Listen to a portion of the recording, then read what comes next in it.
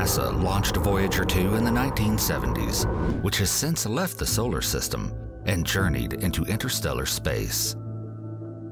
Last week, the American Space Agency announced that it was experiencing problems with Voyager 2 spacecraft. But in the last few days, engineers have been able to stabilize the craft and resume its mission to collect scientific data on the solar system and the interstellar space.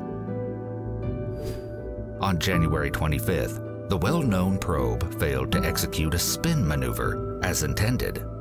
Therefore, two onboard systems remained on longer than planned, consuming so much energy that Voyager 2 automatically shut off its science instruments. Voyager 2 has a very limited amount of power. The spacecraft uses radioactive fuel to produce heat, which is converted to electricity. In order to conserve valuable power, the craft turns off non-essential systems, including its scientific instruments.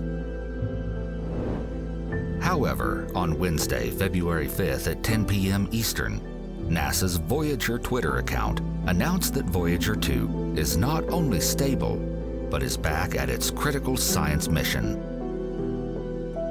It takes 17 hours for the signal to reach Voyager 2 from Earth, which is the furthest away man-made object in space.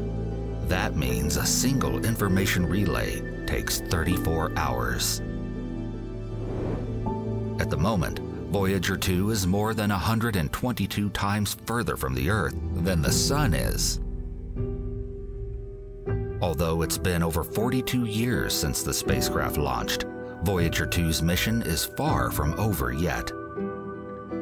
If all goes well, it should have another five years of life left, meaning five more years of data collection from an area of space no one has studied before.